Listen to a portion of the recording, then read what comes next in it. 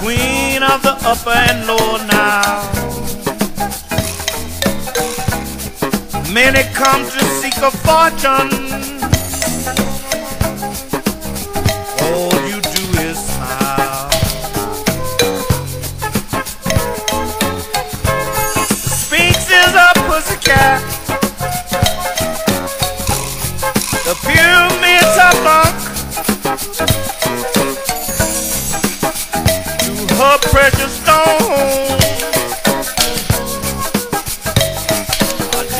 of junk.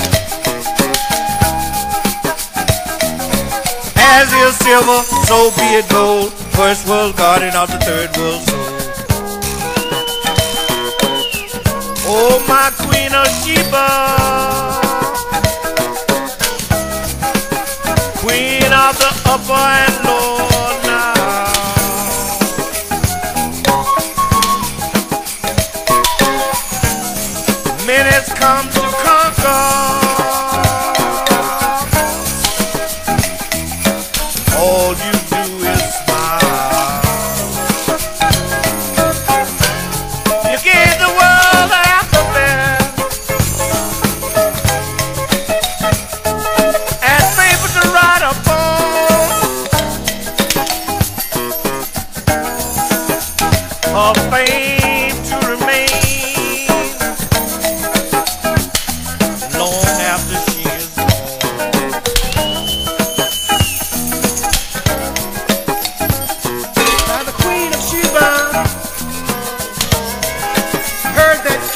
Solomon, the smartest man in the world at this point in time,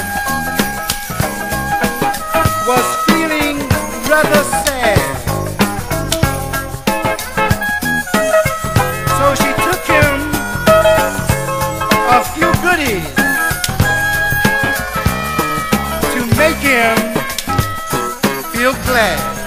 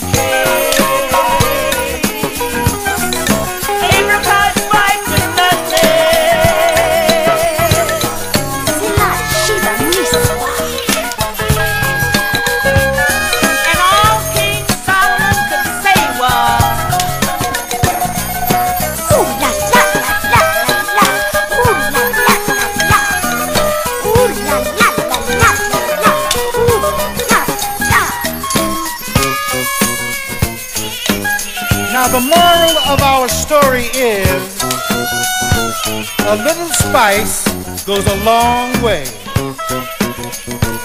So it's wham bam and thank you ma'am. And the Queen of Sheba packs up and steals away.